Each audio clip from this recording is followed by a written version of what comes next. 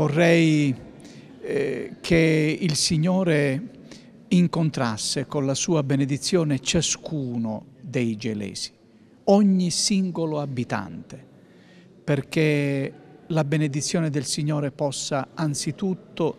elargire in loro un po' di pace nel cuore in questa situazione così drammatica di crisi, di scoramento che davvero sta anche abbattendo tutti.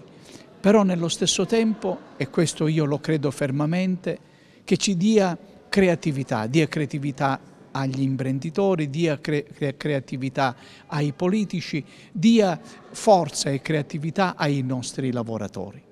Poi vorrei ancora raggiungere con questi miei auguri i poveri. Quanti poveri?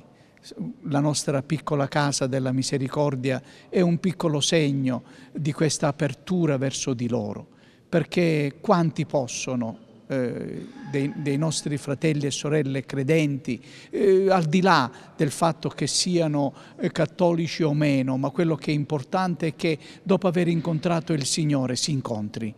qualcuno che davvero ha bisogno, lo si accolga, perché quanti accogliamo abbiamo davvero accolto il Signore se costoro sono i poveri, perché privilegiati e amici del Signore.